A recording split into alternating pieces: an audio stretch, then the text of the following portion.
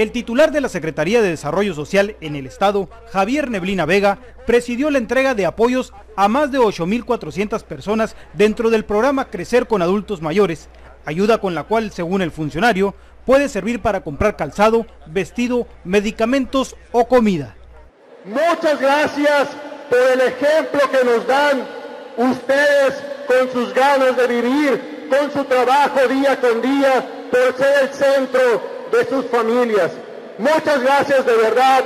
El nuevo Sonora seguirá trabajando para darle más y mejores beneficios a todos ustedes y a sus familias.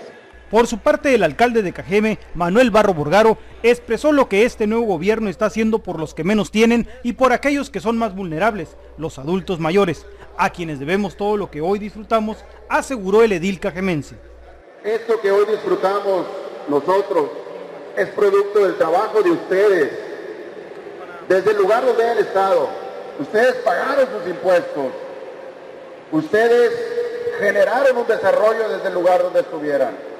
Hoy este gobierno les está regresando a ustedes este favor que hicieron por nosotros a través de programas como Crecer con Adultos Mayores que nuestro gobernador Guillermo Padres Elías ha implementado en todo el estado de Sonora. Por la tarde el titular de la Sedezón y la diputada en movimiento Eloísa Flores García se reunieron con más de 500 abuelitos a quienes se les entregaría el mismo apoyo, pero esta vez gracias a las gestiones de la legisladora cajemense, quien tocó las puertas de la Secretaría para ampliar la cartera de apoyos a personas que se acercaron a las oficinas de enlace solicitando dicho apoyo.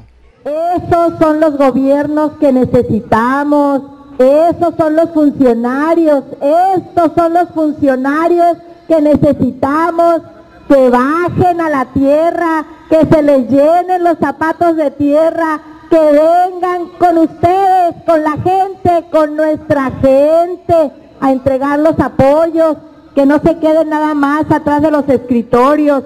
Estos son los funcionarios del Nuevo Sonora, estos son los funcionarios que tiene nuestro gobernador Guillermo Padres, trabajando por la gente, cercanos a la gente.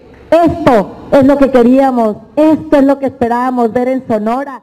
Para finalizar e iniciar con la entrega de tarjetas, el señor Jesús Cortés Borregos agradeció la atención que el mandatario estatal, licenciado Guillermo Padres Elías, ha enviado a través de sus colaboradores hasta las manos de quienes hoy, más que nunca, necesitan de un gobierno sensible, preocupado, como lo es el que ahora tenemos, dijo.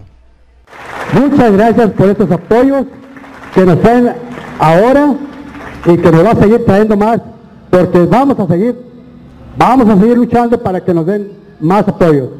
Muchas gracias a nombre de todos los abuelitos y muy agradecido y muy agradecido.